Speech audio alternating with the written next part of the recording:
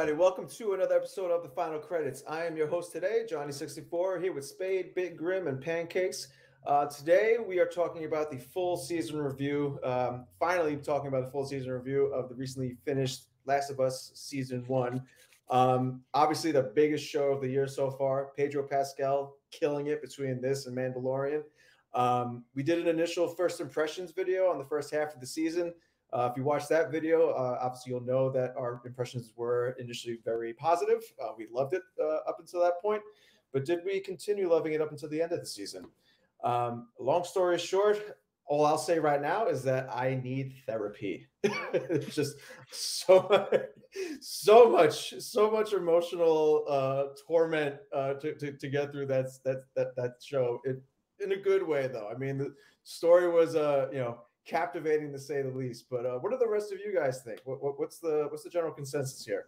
Best show in past uh, 10 years? Best show of the year? It's up there. It's up there.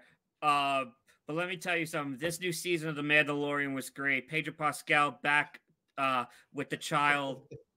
Wait what? Wrong child. Wrong child.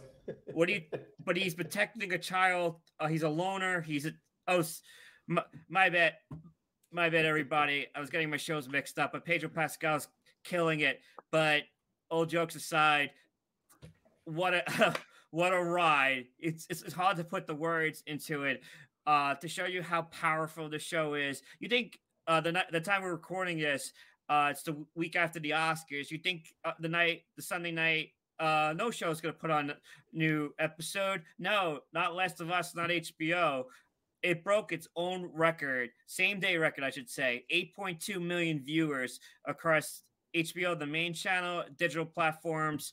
Uh, it just gripped you.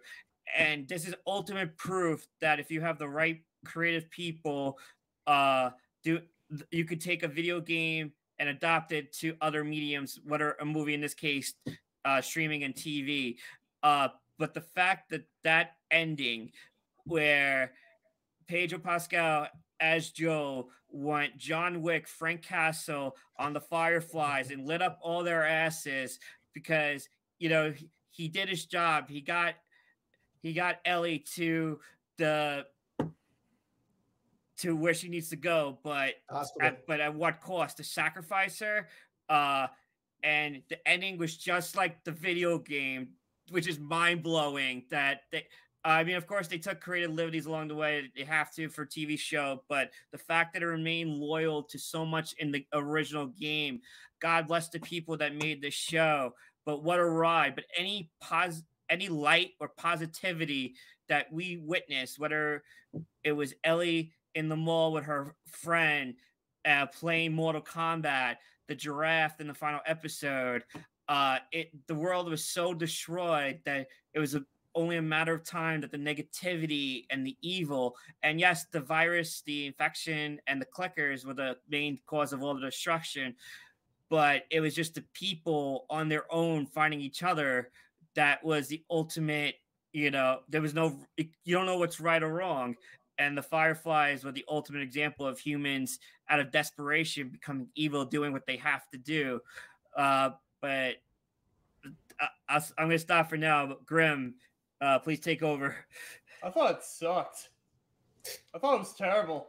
I, you suck. I, I, I, I, no, Boy, I can't keep yeah. up that line. Yeah, I can't. it was great. I loved it. It was right now. Yeah, uh, this is my favorite show. Uh, definitely for the year.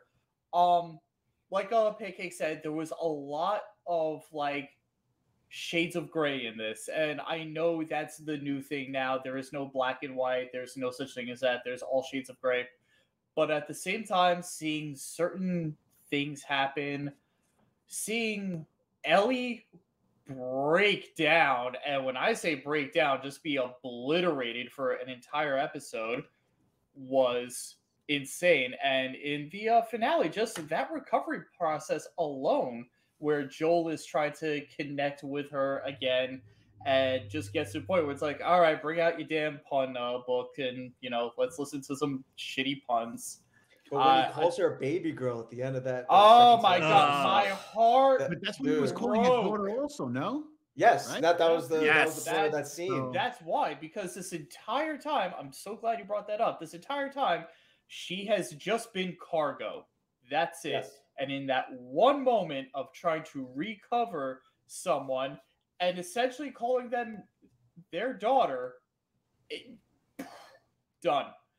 Yeah, Um, and they had that uh, whole I- fight what- too. That that one episode where they were, you know, where she he was telling her like, "You're not my daughter," and she was you- like, "You're the only person that uh, you know I, I Mhm. trust, and if you're not there, then I'm only just more scared."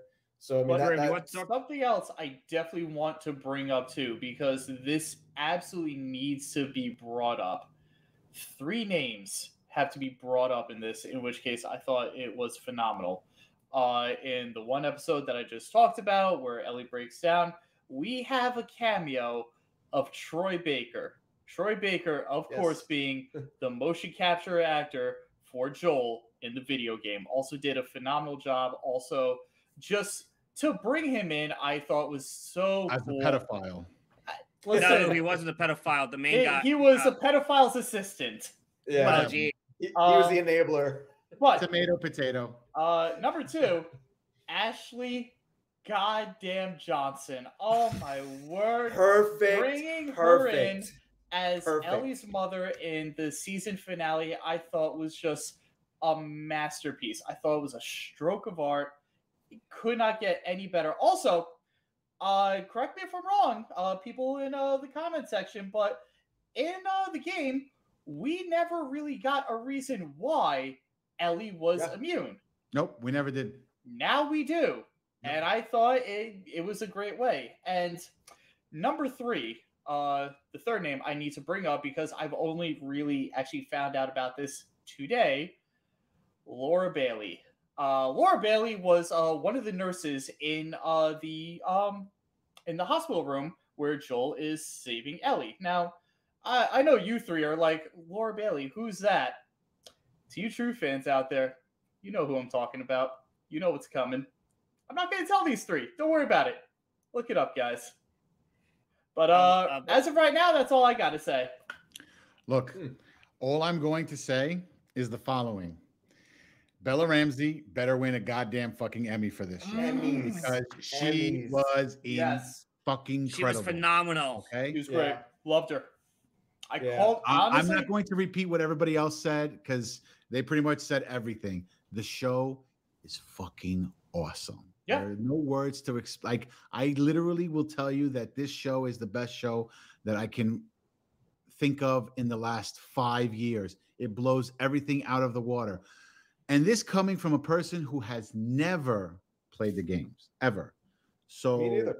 Same here. I I went in there with a blank canvas and I liked it. I really did. And people who played the game still like it. And even though there are a couple of subtle changes or, you know, major, depending on how big of a fan you are, but th- this is amazing. This show is great. There's not one thing. The only thing that kind of annoyed me was, I was, about to say, it's let's uh, well, real quick before you uh, get into that, uh, to the group, real quick, and we're getting get back to you in a hot second. Was there an episode that you all did not like? I was getting to that. The last episode. The last episode was the Uh-oh. worst episode. You want to know why? All Because right, it was sure. the shortest episode, and it made me feel like I was watching the se- the series finale of The Sopranos, where it just went black. I was like, That's not that bad. No, But- Hey, but at least we're getting a but look- season two for look, it. look, look, so- let me let me let me let me go into more detail. I'm Mhm. not pissed off as it sucked. I'm pissed off because I want more. I, I want the show to continue. Well, That's, we're that's, that's why I'm more. pissed off. I don't want to wait two more years for the show to come back. It's, it's That's why to me it was so coming. abrupt, and I was like, "Mm, "Why? Why?" But whatever, it is what it I is. mean, but listen, what- I will literally give this show a ten out of ten. Yeah. If you want to say what the worst episode was, quote unquote, maybe the least uh action, but when they find Joel's brother and they find an established town where people are able to come back, but again, but again, you get the emotional setup between Ellie and Joel where they're fighting one another. He's telling her to stay with his brother, uh, played by Gabriel Luna, who I liked from some uh, other things. Uh, but the point, Gabriel Luna, we point still is, love you. Don't worry about it. my point is, I, I just had a major brain freeze there. Uh, I, I guess it's the worst because there's at least action, but there's still a lot of drama to add to the overall narrative. Uh, maybe the two episodes with the two brothers maybe steals the whole damn thing. But then you can make the same argument about when they deal with the evil cult and the guy that's a pedophile, uh, pastor slash cannibalist. Uh, it's so hard to choose. I would probably say, uh, yeah. The, the, uh, the thing is with this show is that it, it, it was. I feel like it was a perfectly lengthened uh, series. That there was a perfect amount of episodes. It wasn't like you know the MCU Disney Plus shows where they could have used an extra couple episodes to flesh out the story more. It Mhm. like every episode had its own purpose, like in Yep. the story. I felt like, and they perfectly, like I said, the last episode of the, the season probably could have been a little bit longer, but even so, like No. just the the message that it gave, the it, it- it's it, they purposefully made it a divisive ending.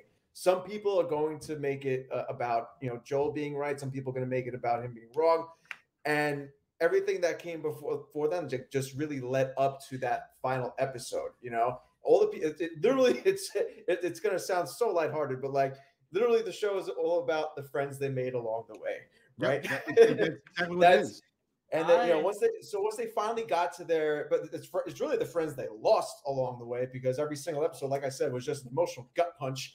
The um, giraffe survived. The, gir- the giraffe. Great, yeah, great. The giraffe is, Uh, is- is there, but Just not completely ignore episode three, guys. Yeah, totally. Uh, everything will be Well, fine. I was gonna. I was about to make a comment. Speed, do you think? well, do you still we, we, stand? we spoke about that in the first impressions video, but yeah, Yeah. I mean, obviously that still remains like the highlight of the season. Oh, that's the say. best episode ever in any TV show. Mhm. Uh, I was I just will- answering my question. If you just if you stood if you stood Of course. stand by what you said. Of course.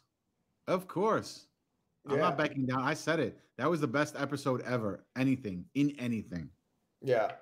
I mean, it, it, honestly, the only debate is if like any other episodes might have topped it because it, can be argued. But uh, yeah, no, that that episode three with um. uh, well, I'm the only what's episode the only episode that I can think that may possibly top it, but not because of of an emotional like love aspect as episode 3 was, but the episode where Ellie is, you know, literally killing the guy at the end of the episode. Oh my god! Yeah. That's that she could be the it. I only mean, episode that I would say that was good too. So Yeah. I would say Well, those that- are my top two. That mother effer had it coming the whole episode. And what's interesting with that one was you're anticipating that Joel, you know, he's fully recovered from his injuries. He's taking down his henchmen one by one. You thought he was going to burst through the doors, but if you watch the behind the scenes documentary, uh, they said, "Oh yeah, the audience is anticipating this. That's not what we wanted to do." They let Ellie. Uh, I'm so happy that they made that choice. yeah, to save herself. That was mwah, chef's kiss. And also to like, just address too, like what people say about their like, oh, like the I feel like the one overarching criticism is that people might say like, oh, they needed more, um, you know, infected, they needed more clickers and all that stuff. There were parts of the That's game that wasn't. Mhm. not well, yeah i mean that, that's going to happen in season two according to the directors and everybody but like that's not what this show this season was for it was Yeah. it was about showing what society is going through how it degrades how people like just turn to animals how they will literally eat each other when things go bad that's what it was about and i think that was like the beautiful part of the show I feel But, like um, a lot of people are looking at like, oh, it has zombies in it and it's a TV show. Clearly, it's The Walking Dead, and everything needs to be exactly like The Walking Dead, which could not be further from the truth. Yeah, Uh, and not honestly, at all. Yeah, i mean th- and there was definite like uh fatigue from that show too so the fact that Oh, this show was Oh, so so so popular and so successful despite that. I mean, it goes to show like how well uh, written it was. Yep. But um, yeah. Uh, so like like we all said, uh, there's nothing but great things to say about this show, other than the fact that it might send you to therapy. But uh, Yeah. Honestly, on that my, probably my favorite video game adaptation. yeah, I mean, No it, doubt. it, it, it opens the door for um, you know, alongside what Mario and all the, the you know Sonic and all the other great uh, you know adaptations we've been getting so far. Um, just part of the, the video game renaissance, I think. But um, yeah, um, until then, we're definitely going to be looking forward to season two. What do you guys think? Let us know in the comments what you might have liked or not liked about this season. But I think there's definitely a lot more to like. Uh, so until next time, see you in the next one and roll credits. We out.